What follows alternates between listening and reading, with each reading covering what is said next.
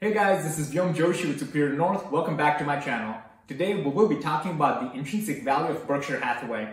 I've been a Berkshire Hathaway shareholder for various years and I've also been to the Berkshire Hathaway shareholder meeting in the past.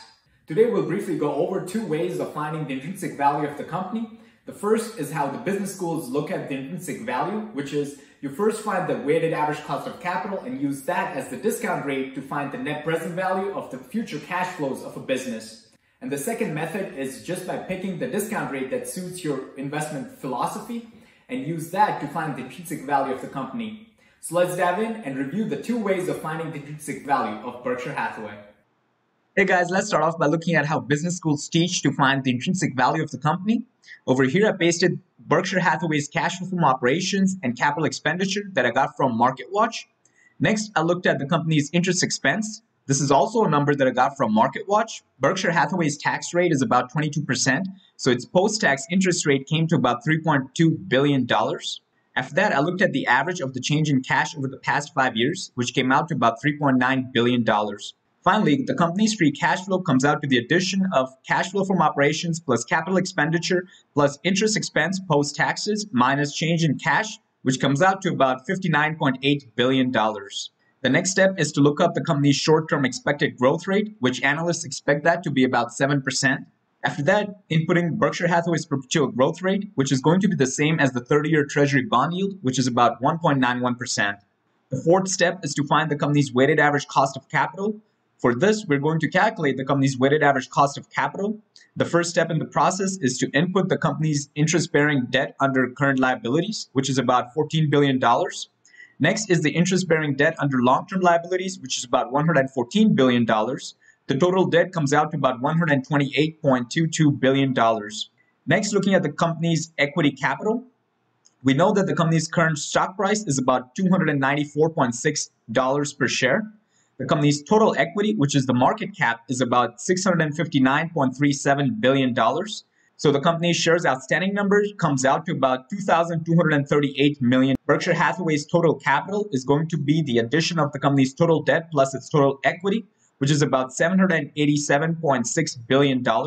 When we look at the proportion of the company's total debt to its total capital, it's about 16.3% and the company's total equity to its total capital is about 83.7%. The next step is to go on the FINRA bond screener and look at Berkshire Hathaway's bond rating.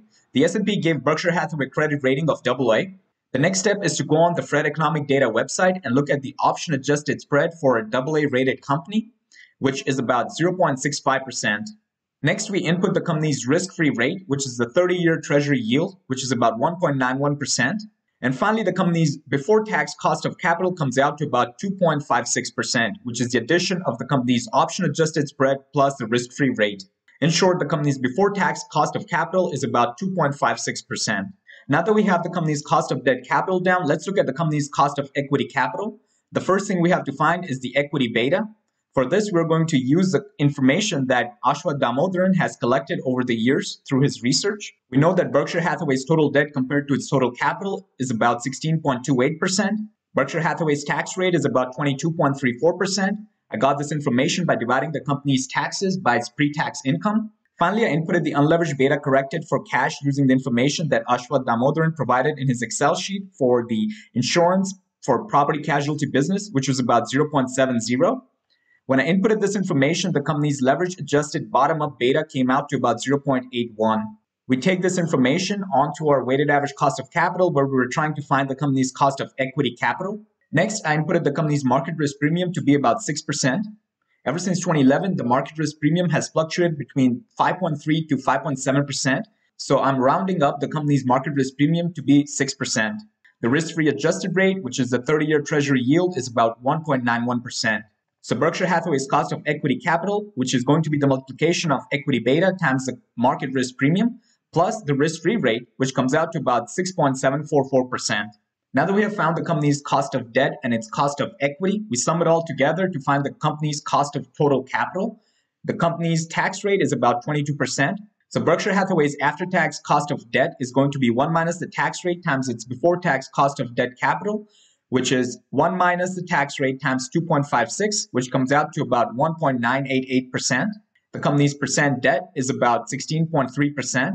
Next, we look at what the company's cost of equity capital was, which is 6.744%, which is the number that we just calculated here. We multiply that by the company's percent equity, which is about 83.7%. We multiply these two numbers, and in short, the company's weighted average cost of capital is going to be the multiplication of number one times number two plus number three times number four, which comes out to about 5.97%. So this is how we got the step four in our free cash flow valuation sheet, where the cost of capital comes out to about 5.97%. Step five is to look at the value of operations. Over here, we expect the company's free cash flow to grow at 7% every year for the next five years. After the five year mark into perpetuity, we expect the company's free cash flow to grow at its perpetual growth rate, which is about 1.91%. And the formula that we use to find the terminal value is the company's free cash flow times 1 plus its perpetual growth rate divided by the company's weighted average cost of capital minus its perpetual growth rate. Once we have all these free cash flows in hand, we look at the company's net present value, which is going to be the company's discount rate, the same as the company's weighted average cost of capital. And then we look at the, all the expected free cash flows that we're going to get into the future. So the company's value of operations comes out to about $1.8 trillion. And just to give you a perspective, the company's market cap right now is about $660 billion. The next step is to look at Berkshire Hathaway's non-operating assets and debt capital. Over here, I inputted the company's value of non-operating assets, which is its marketable securities that I got from the company's most recent 10Q, which came out to about $310.739 billion. The company's total debt, as we know, is about $128.22 billion. Next, we look at Berkshire Hathaway's fundamental balance sheet representation. Its non-operating assets, which the lion's share of its non-operating assets is its marketable securities portfolio, which amount to about $310 billion. Next, the company's operating assets amount to about $1.8 trillion. On the other side, we have the total debt, which is about $128 billion. And the company's shareholders' equity is going to be the addition of the net present value of its operating assets plus its non operating portfolio minus its total debt, which comes out to about $2 trillion.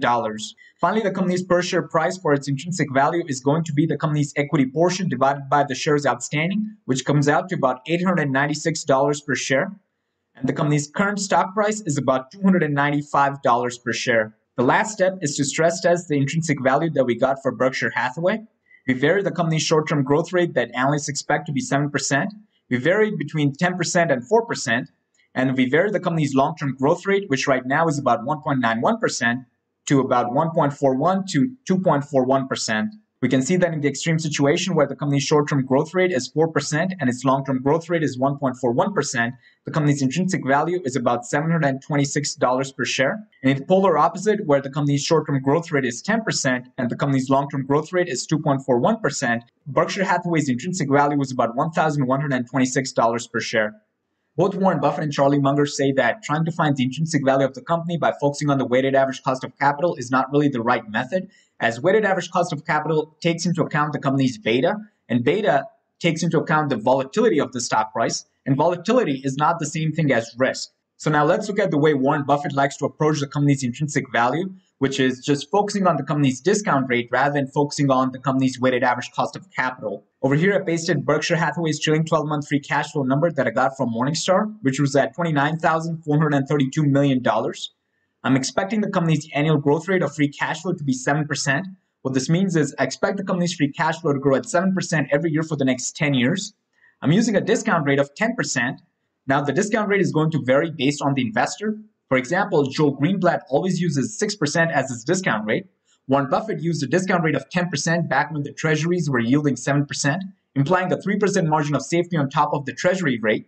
Charlie Munger likes to look at everything from an opportunity cost standpoint. So if you find an investment that's going to give you a 10% return, you better have a discount rate of 10% for any and all investments that you're looking in the future. And as we saw earlier, business schools like to use the company's weighted average cost of capital as its discount rate. I like to use 10% as I'm always thinking about rule of 70, where it gives me an idea of how many years will it take me to double my investment. And when I use a 10%, it implies that 70 divided by 10 would be seven years. So after seven years, I would double my investment. And that to me is the bare minimum, the threshold, the hurdle rate for me in order to make any investment. Next is the long-term growth rate, which is in line with the 30-year treasury yield, which is about 2%. Next, Berkshire Hathaway has 2,292 million shares outstanding and has a long-term debt of about $113,547 million. We also know that Berkshire Hathaway's assets also include its marketable securities, which amount to about $310 billion. After taking all of these inputs into account, we get the company's intrinsic value to be about $317.5 per share. And when we compare this intrinsic value to the company's current stock price, which is about $294.5 per share, we can see that the company's stock is trading about 7% below the company's intrinsic value. The way we calculate this intrinsic value is we look at what the free cash flows would be every year for the next 10 years. We sum up all those free cash flows, which come out to about $254 billion. Then we look at what the free cash flows would be after the 10 year mark in perpetuity.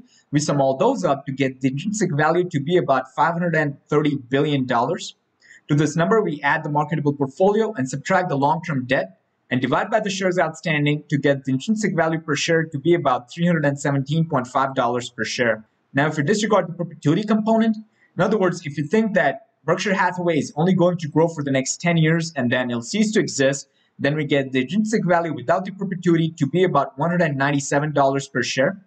If you disregard the debt, in other words, if you think that Berkshire Hathaway is going to grow into perpetuity, so there's no point for the company to worry about paying off its debt, then we get the intrinsic value without the debt to be about $367 per share. And finally, if we disregard the company's marketable portfolio, then we get the intrinsic value without the marketable securities to be about $182 per share. Now, if we drop the company's discount rate to the weighted average cost of capital that we computed earlier, which was about 6%, we can see that the intrinsic value bounces up. And in this case, the company's current stock price is about 50% below the company's intrinsic value. However, a 6% discount rate would imply that I would be doubling my money in 12 years, which is not acceptable to me as I want my investment to double in 7 years, in which case my intrinsic value is going to stay at about $317.5 per share. Hey guys, hopefully you found this video interesting on how we go about calculating Berkshire Hathaway's intrinsic value using the company's free cash flows. If you like this content, please do like, share, comment, and subscribe. And if you have any suggestions on which stock I should review next, please leave it in the comment section below. I greatly appreciate it. Thank you.